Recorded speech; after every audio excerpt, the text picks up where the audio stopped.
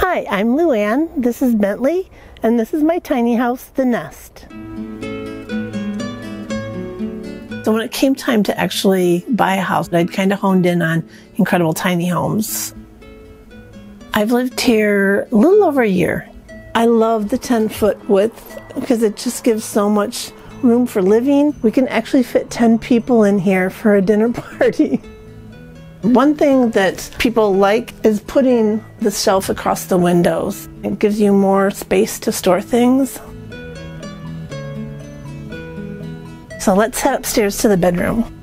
This is my loft. I believe this is 43 inches from the floor to the ceiling, so I have plenty of room to sit up. I think the best part of tiny living is how it simplifies your life. I just retired. I can live on my social security here, which is great.